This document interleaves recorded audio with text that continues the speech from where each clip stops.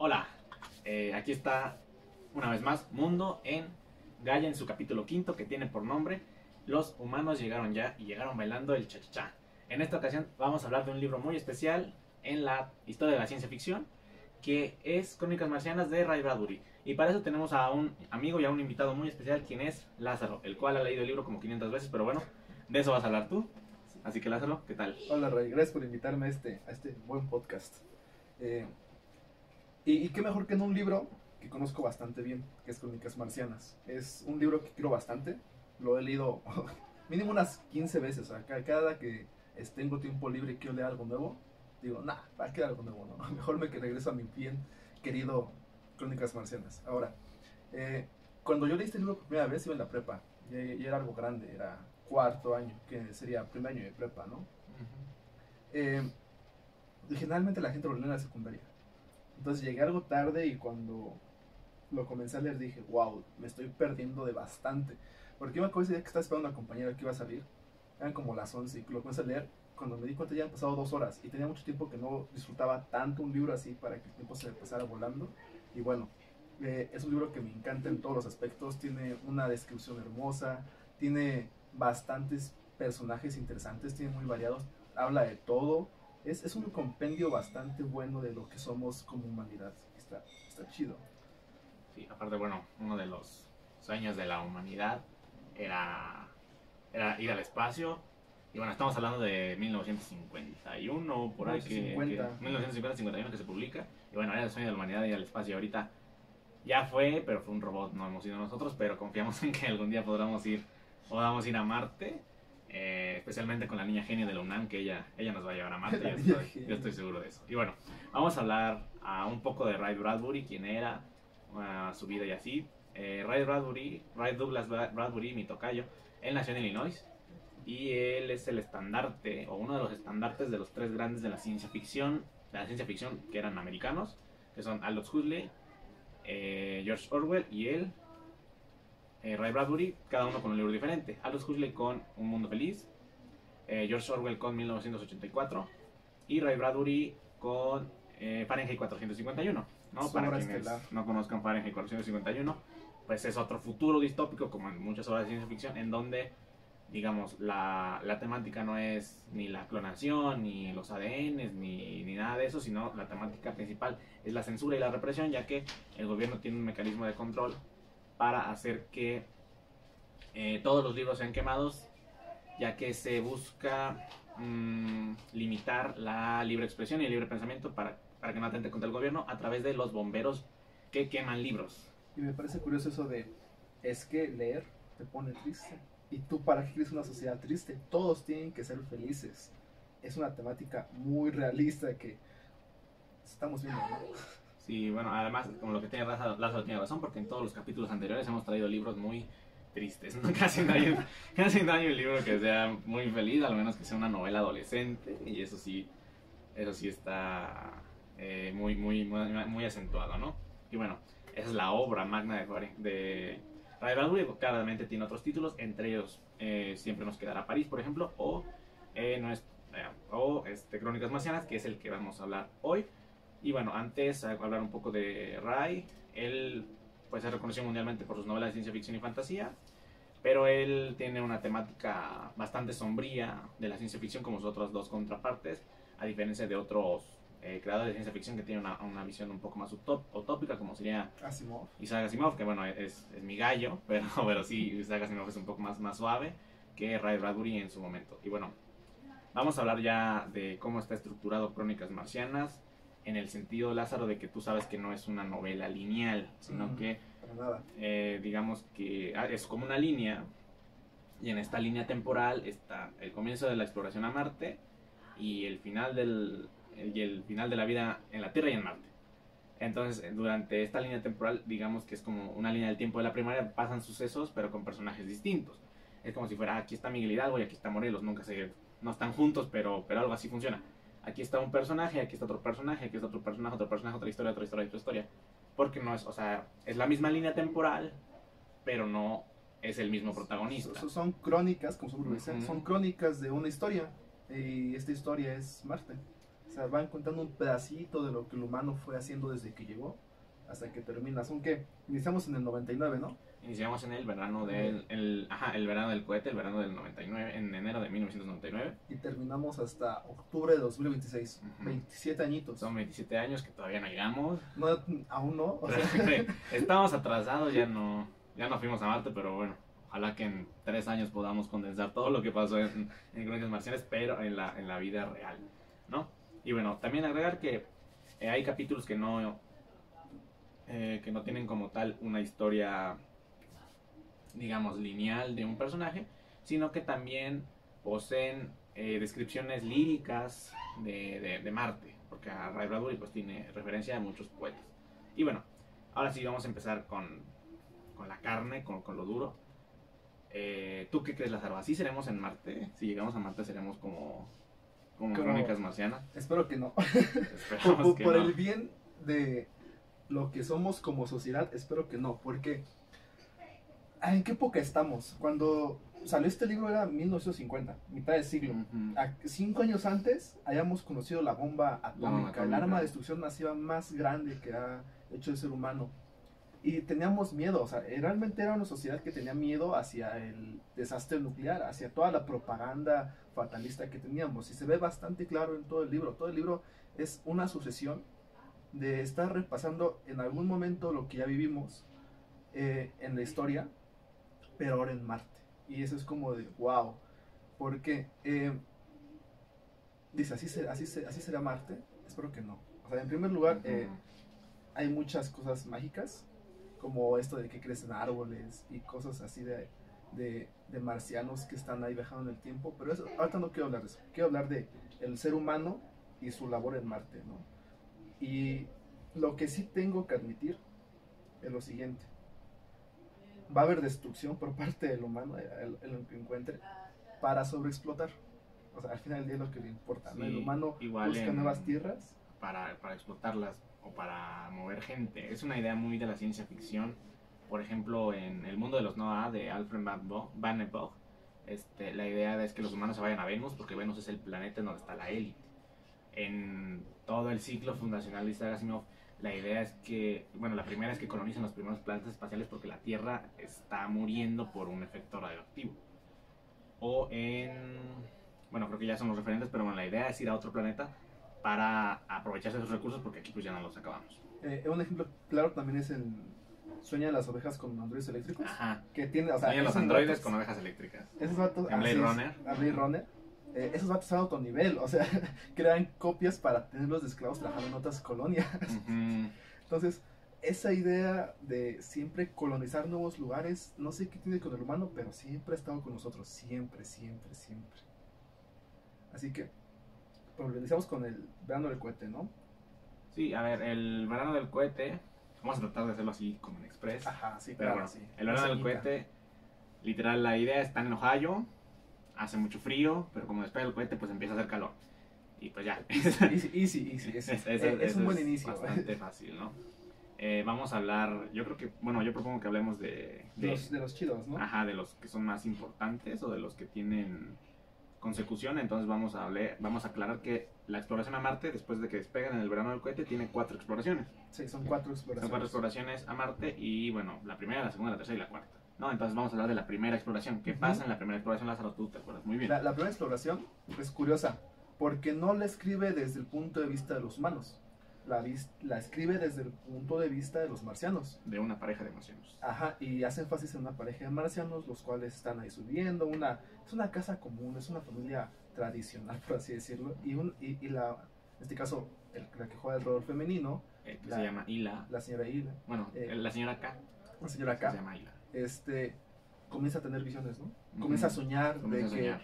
canciones y de repente un día se despierta y comienza a cantar una canción que no sabe ni en qué idioma está, Ujú. pero la comienza a reconocer. Es una canción en inglés que no sabemos, pero para efecto digamos que es Eiyut. No. Algo así, Aunque una canción no, famosilla no de la salen los época. Beatles, pero bueno, bueno. Sea, una canción famosilla de la época que está, imagino que en todos los radios. Y comienza a decir esto y dice, no, pues es que estaré mal, hará algo en mí, ¿por qué hago esto? Y de repente sentí emoción, ¿no? Sentí como que, ah, caray, ¿qué, qué, qué va a pasar? Sentía esa curiosidad hacia lo desconocido. porque tenía ese presentimiento y el esposo, pues ya sabes, ¿no? El típico esposo. El de- señor K, que se llamaba Il.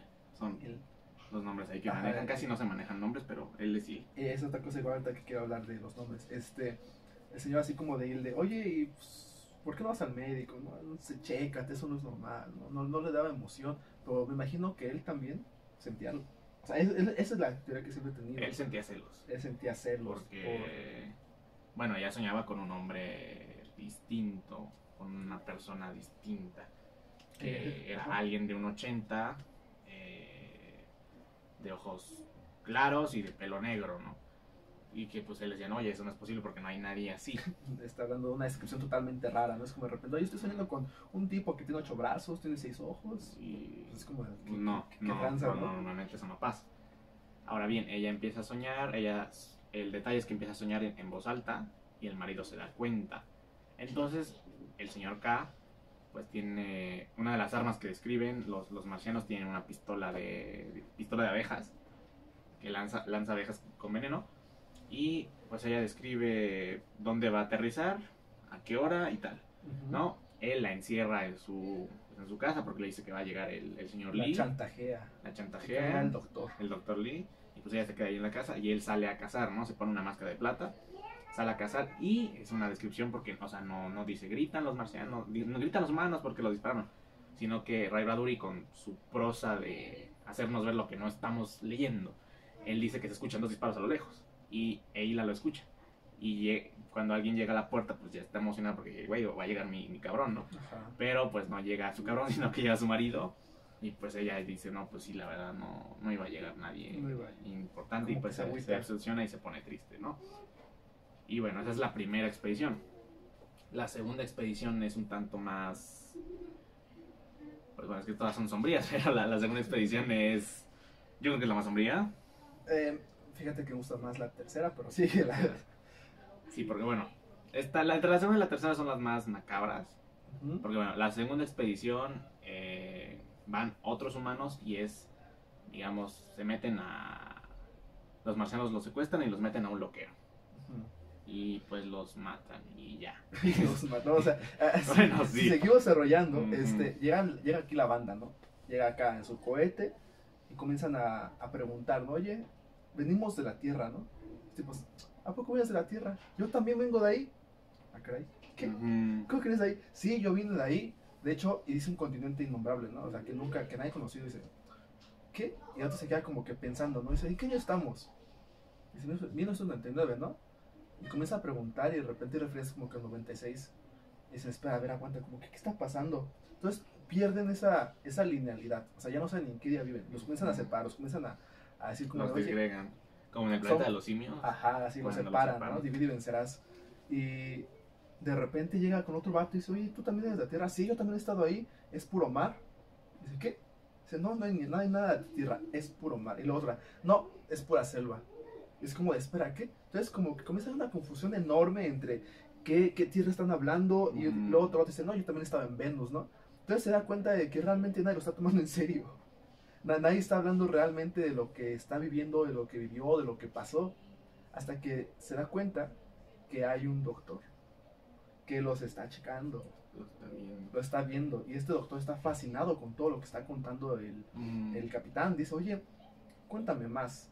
Y el vato no dice, no, pues yo vengo de tal planeta, están tantos continentes. Esta es la segunda expedición. Esta es la segunda para expedición. Y el vato dice, ah, sí, cuéntame, cuéntame, ¿qué más?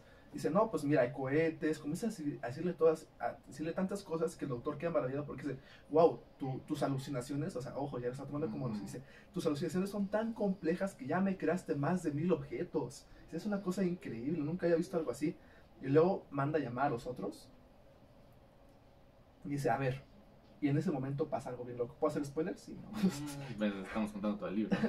Y este, y lo mata, mata al capitán, ¿no? Y los otros, los otros vatos de la expedición que eran otros dicen, "Oh, espera, ¿qué qué? Y el doctor así como de, oye, wow, qué increíble, los, las alucinaciones quedan después de que está muerto. Y es como de, espera, espera, ¿qué? Y de repente los vatos se quedan así bien locos, ¿no? Así como de, espera, ¿qué está pasando? Y también los mata.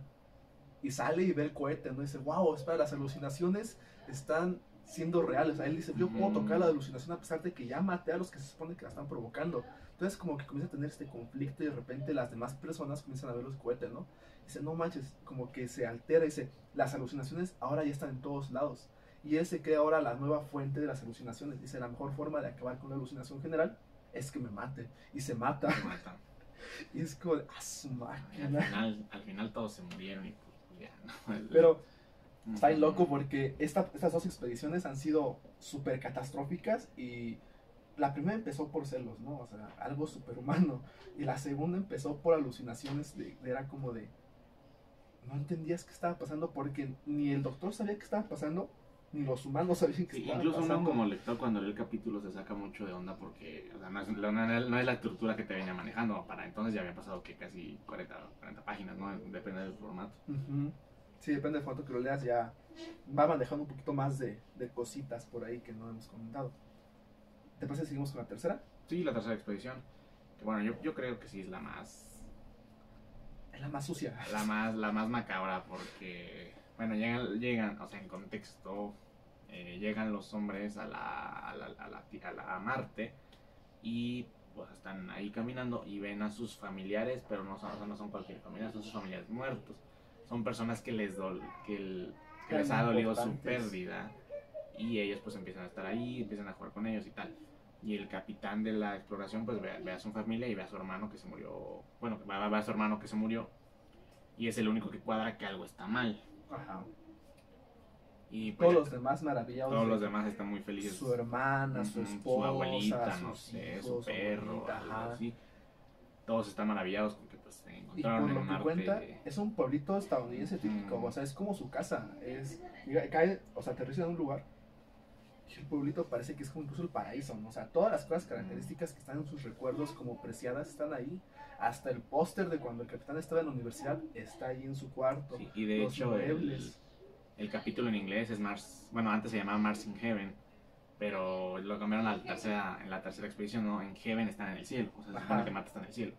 es lo que dice, ¿no? Es como de wow, o sea, dice, entonces, si hay un Dios, de hecho el capitán comienza, bueno, comienza a preguntarse cosas, ¿no? Como de, mira, aquí, como, como que aquí llegan todos. La primera reacción que tiene el capitán es que viajaban en el tiempo, ¿no? Porque hay una fecha que habla del 96. Y dicen, espera.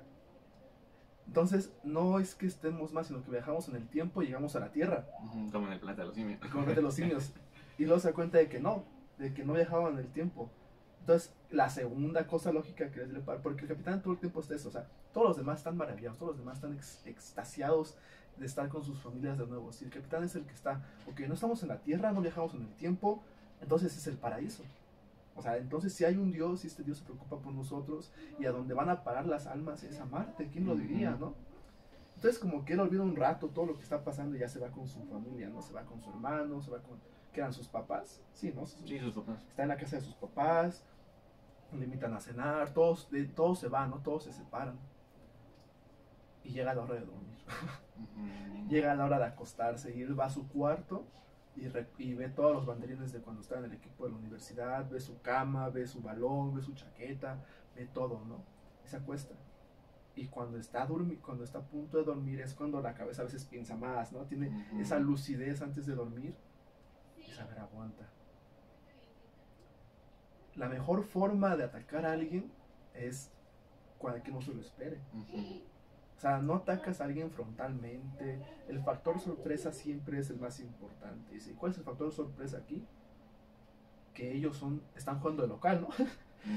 Ellos, ellos saben muy bien sus habilidades, ellos nos ven tal vez como distintos seres, tal vez tienen poderes telepáticos y comienza a hacer estas, estos silogismos dentro de su cabeza hasta que dice, algo está mal, Este no es mi hermano.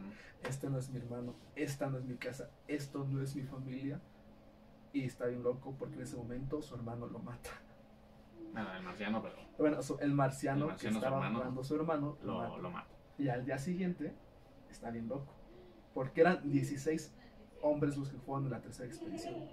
Y narra que a la mañana siguiente fueron exactamente 16 ataúdes las que salen y tocan música fúnebre todos. Y es como, a su máquina. Los marcianos jugaron tan sucio que matan a los 16, haciendo que estén como panecitos, así, suaves, no, no pusieron resistencia, todos se fueron a dormir tranquilos y no despertaron pensando que estaban en el cielo, O sea, no fue una muerte violenta, directa como el como los dos pasados. como los dos pasados, sino que aquí pues los fueron trabajando, trabajando, trabajando, ahum- ahumando. Los- Los ahumaron y pues ya, los terminaron matando, tristemente. Y bueno, esa fue la... la tercera expedición tercera en el año de de 2000. 2000. ¿no? Y ahora, bueno, la cuarta expedición que, bueno, me dijo Lázaro que era la que él más le... Me gusta, o sea, la, le la- gusta. la tercera es la que me parece más tétrica, más creepy, pero la cuarta es la que me parece más romántica dentro de Mm. todas, ¿no? Sí, en la cuarta están, bueno, es la cuarta expedición, hay personajes importantes que son Spencer, el capitán... El capitán capitán, este, capitán. Ajá. mm, Eh, son varios hombres que llegan eh, al planeta en un cohete al igual que todos los demás. Es el capitán Builder, Ajá. está Cherokee, Hathaway, Parhill, y Spender, Spender. Spender, no Spencer, Spender. son los, son los Son los cinco. cuatro, ¿no? Y bueno, el contexto, que es lo que estoy un poco ayudando, es que ya llegan a Marte y pues Marte está más vacío que el pueblo de mi abuelo, o sea, no, no hay gente. Y dicen, no, pues ya aquí, aquí ya ganamos, porque los marcianos se contagiaron de varicela, Sí, derivado de las exploraciones anteriores, y pues bueno, todos murieron, o la mayoría murió. Y pues bueno, ellos ya están ahí en Marte y pues, pues básicamente ya ganaron. estábamos súper exta- extasiados de, de que eran los primeros, porque no recibieron señales de las otras tres expediciones. O sea, ellos las dieron por perdidas, dijeron, en algún momento explotaron, desaparecieron, se dan por perdidas. Y ellos encontraron querían- fauna hostil, pero aquí ellos no encontraron nada, o sea, era, era un ambiente propicio para celebrar, porque pues no había nadie. eran los primeros, o sea, y nadie les iba a quitar ese título de que habían sido los primeros. A ver, vamos a ver. ¿Cuánto tiempo ha pasado? Vamos a checar. Desde la tercera expedición hasta la cuarta expedición son un año. Un año más o menos, sí, Porque la tercera es en el 2000. abril de 2000, y la cuarta es en junio de dos- 2001. sí, más o menos pasó un año. más de un año sin que haya ningún contacto. Entonces ellos dijeron, ya lo hicimos, no hay nadie más. Nosotros somos la primera expedición. Y comienzan a celebrar, se emborrachan, comienzan a tener actitudes de, mm, ¿cómo se podrá decir? Desprecio, no son buenos ganadores, No digamos. son buenos ganadores. Sí, es algo así como de cuando no o sea, como que no mostraran respeto por lo que están. Es como si Mm. llegara, es como si llegaras a las tumbas de Egipto y comenzaras a destruirlas y a reírte de ellas. ¿no? Es como de, oye, espera, ¿no? Como que respeta un poco lo que había antes aquí. Y hay uno que justamente siente lo que estoy diciendo, que es Spender. Es Spender, él es el arqueólogo de la, de la expedición. Todos tienen chambas, ¿no? Hay de todo. Está el capitán, está el güey de las armas, está el arqueólogo, está el, explorador, el Médico. ingeniero, todos. Como toda, to- como toda buena expedición. Y comienzan a celebrar, comienzan a emborracharse, prenden fogata, comienzan a quemar cosas que quién sabe, que bueno, para Spender tenían un valor, ¿no? Dice, ah, pues puede que esa cosa sea algo importante, porque ya lo están quemando para hacer la fogatita y prepararse sus salchichas. Pero bueno, entonces Spender se molesta bastante, se enoja y se va. A Spender se le chiva la cabeza, Dice, ajá, se y, escapa. se va, se aleja de todos. Y comienza, y todos los siguen celebrando. Todos están trabajando, bueno, al día siguiente todos siguen trabajando, todos están en sus cosas, pero Spender vuelve y lo saludan, ¿no? Dice, oye, como, ¿qué pasó? ¿Por qué te fuiste, no? ¿Qué, qué traes? ¿Ya te enojaste? Porque ellos lo tomaron como un berrinche. Entonces Spender vuelve y hace algo bien loco.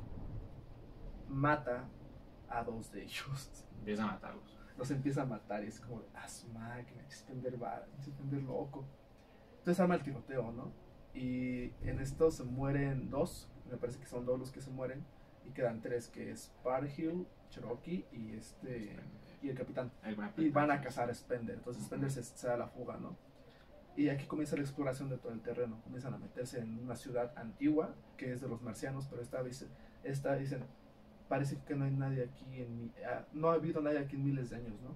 Pero pues en verdad ha pasado un año. O Sí, sea, no, no ha pasado mucho tiempo. no ha pasado un año desde que, desde que no había marcianos, porque por lo que nos, por lo que entendemos hasta ahorita, la sociedad que tenían los marcianos era muy grande, era muy rica, tenía ciudades, tenía cultura, tenía medicina, tenía arte, tenía reli- bueno, tenía todo. Y en un año se extinguieron todos. Y conociendo como un a lo, como a lo H, H.G. Wells en, en la guerra de los mundos, los marcianos no se mueren porque los humanos los maten, sino porque él se enferma. Aquí se enferman rápido y pues bueno, ya dejan todo el terreno abierto para los humanos. Y, retoman este concepto que ya vimos de, de las guerras biológicas que pasó aquí, ¿no? En, en América. Ahorita, ahorita hay que llegar a eso. Entonces, eh, llegan a un tiroteo, bueno, comienzan a explorar la ciudad, comienzan a explorar todo y llega un punto en el cual ya encuentran a Spender. Spender se encuentra leyendo un libro, ¿no? Está, está leyendo un libro plateado. Porque aprende a leer marciano. aprende a leer marciano en corto. O sea, Spender era un genio. Aprende a leer marciano en corto. Y el capitán lo encuentra y le dice, oye, vamos a platicar, ¿no? O sea, como que están tiroteándose y de repente hacen una tregua rápida. Y el capitán le dice, vamos, quiero hablar contigo, Spender. Porque tenía empatía hacia lo que él estaba haciendo. Porque no lo veía como un villano, no lo veía como un asesino, lo veía... Tal vez hasta cierto punto comprendía lo que comprendía estaba haciendo. Comprendía sus emociones, sus ideales. Sí. De hecho, bueno, se dice que Ray Bradbury es un poco el, capitán porque entiende la postura radical pero no la comparte. Entonces, Ajá. como que él se, in- se invierte en este personaje, pero bueno, ya para terminar, el. Pues, digamos.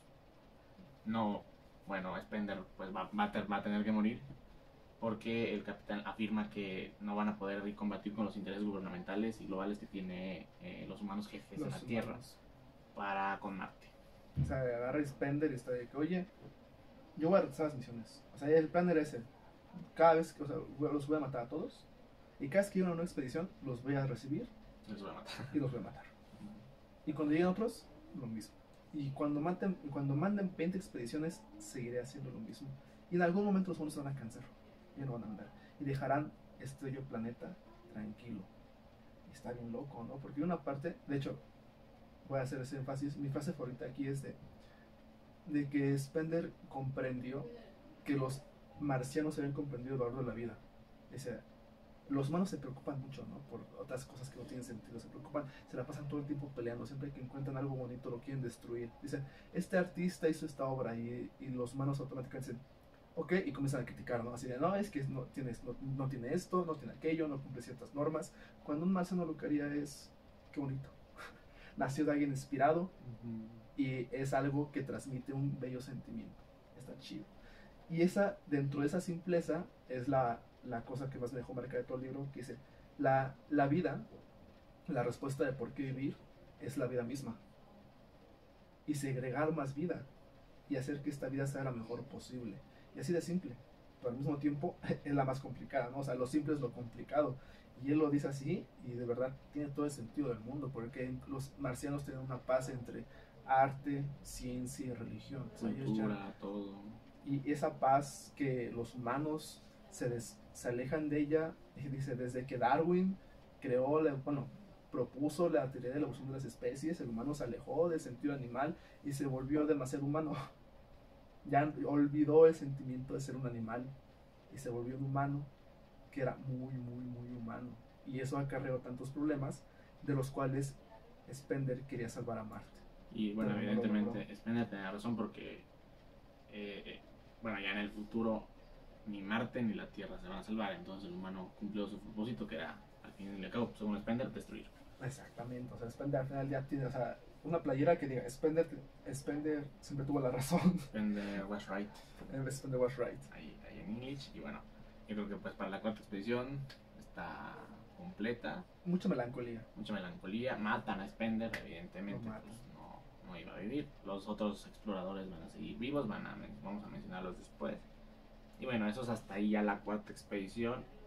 Y pues bueno, los siguientes relatos van a ser pues cortos, o sea, ya de- Descripciones. descripciones, porque el libro tiene bastantes capítulos cortos que son descripciones. Eh, y bueno, o sea, no, no vamos a hablar de, digamos, se establecen los, los humanos ya en, ya en Marte, y hay como una estabilidad. Y hay, hay un, bueno, a mí el, el relato que más me gusta es Encuentro Nocturno, porque es el más metafísico, el más fumado y el más loco. y el más raro, ¿no? En contexto, pues hay dos, dos personajes, uno es un humano y uno es un marciano, y los dos van en la misma carretera, porque van a una fiesta. Y bueno, el personaje es Tomás Gómez y el, el marciano no me acuerdo cómo se llama. Marciano, marcianito. marcianito. Van Marcianito y Tomás Gómez.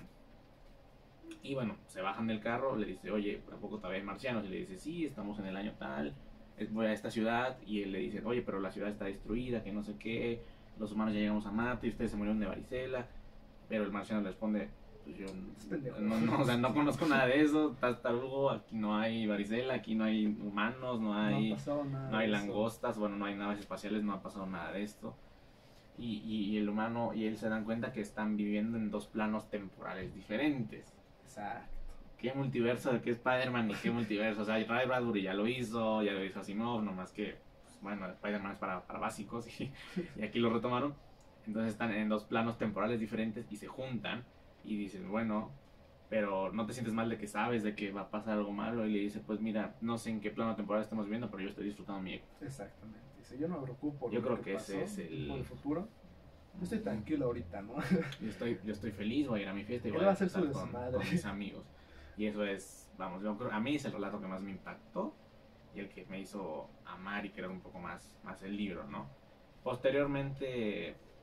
Hay un, hay un capítulo que es me gusta mucho porque también habla de la situación no- en Marte, o sea, volvemos un poquito a la Tierra, eh, algunos capítulos son en la Tierra, cuando los negros se van a Marte. ah, cuando los, ajá, los De- negros del sur se van a Marte. Se van a. Marte, no das de cuenta que es una mañana y de repente me da, da gracia como Bradbury le escribe a tanta, a tanta gente de color que dice la marea, ¿no? La marea negra La va marea por negra. las calles y toda la, toda la gente acá. Y todo- esto es, ah, como paréntesis Lázaro, eh, es, un, es un poco reflejo del racismo que se vive en Estados Unidos, que es un tema, bueno, de años. Siempre ha estado Y, y esto es antes de los movimientos de incluso de Martin Luther King. de Martin Luther El, King, el libro está escrito antes de eso. Y bueno, En continuar. 1950 no había panteras negras todavía, no había Ajá, todavía no fue la marcha ahí en, No. Washington. eh, estaba en ese momento el racismo. Es más, creo que ni había asistido el primer negro a la universidad. Mm, No estoy seguro de en qué Creo que año- eso fue después incluso. Ajá, Bueno, es que la historia, la, la primera niña que asiste a una universidad se llama Abby. Ajá. Se llama Abby, pero no, no, no me acuerdo el año precisamente, pero bueno, Estados Unidos ha vivido un racismo institu- institucionalizado por sus instituciones y por sus jueces mediante el sistema de eh, sentencias judiciales, ¿no? el Lo- gobierno mató a Martin Luther King. el gobierno, no, eso no lo no sabemos a ciencia cierta, pero lo fueron perpetuando y este Ray Bradbury en este capítulo pues lo describe uno que hay un señor muy racista que no quiere que ningún negro se vaya porque según le deben dinero.